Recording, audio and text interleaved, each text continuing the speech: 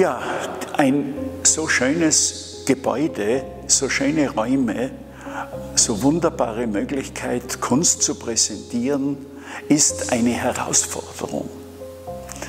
Eine Herausforderung für mich, nicht nur meine Arbeiten zu zeigen, sondern die Galerie zu öffnen, diese Räumlichkeiten zu öffnen und andere Künstler, Künstlerinnen einzuladen, hier ihre Arbeiten zu zeigen. Das ist ein einmaliges Glück für mich und macht mir unglaublich viel Freude.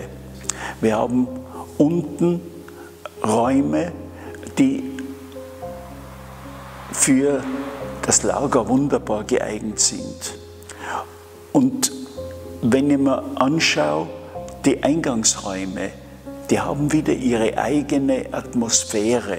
Da ist altes Kulturgut äh, verarbeitet in den Räumen. Da, sind, da ist der Gewölbekeller mit seinem Sandsteinbau. Äh, alles das ist natürlich eine Herausforderung für einen Künstler, Herausforderung natürlich auch für den, der die Kunst dann präsentiert, beziehungsweise äh, der Ausstellungen organisiert.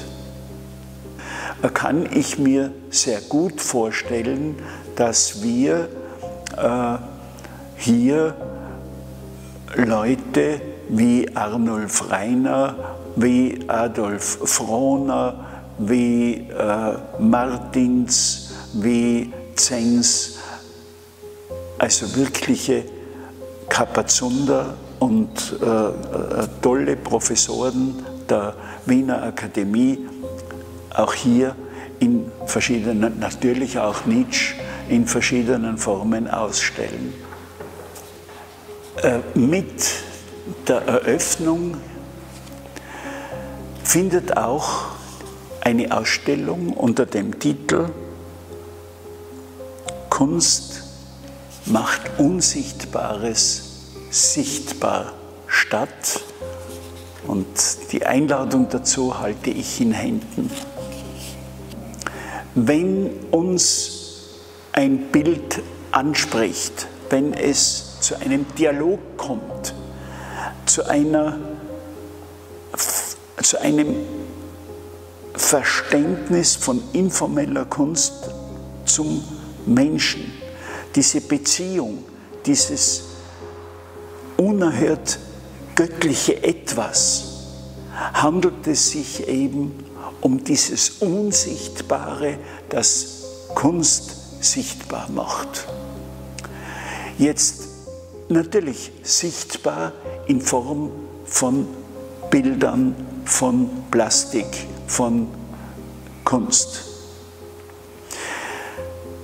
Ich glaube, Klee, der sich diesen Titel auf sein einen Grabstein äh, gewünscht hat, hat gewusst, warum er das sagt. Denn keine, kein einfacherer Satz sagt mehr über die heutige moderne Kunst als dieser einfache Satz, Kunst ist Unsichtbares sichtbar machen. Und wenn es einem Künstler gelingt, diesen Satz umzusetzen, dann ist er Künstler und dann wird er sehr, sehr viel Freude an seinen Arbeiten haben, aber er wird auch viel wunderbare Rückmeldungen von Menschen erhalten, die dieses Unsichtbare in der Kunst merken, spüren, empfinden. Und was Schöneres kann eigentlich für einen Künstler nicht passieren.